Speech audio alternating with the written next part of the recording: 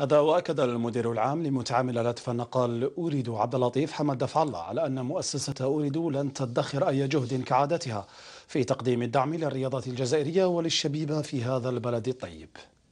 أن الشعب الجزائري مولع بالرياضة والشعب يعني له وله مع كرة القدم بالذات ونحن نرى كل الفرق المتألقة وكل الفرق تستحق الرعاية وكل ما نراه هنالك في إمكانياتنا من ميزانيات أو من إمكانيات أخرى يمكننا من دعم الفرق الأخرى.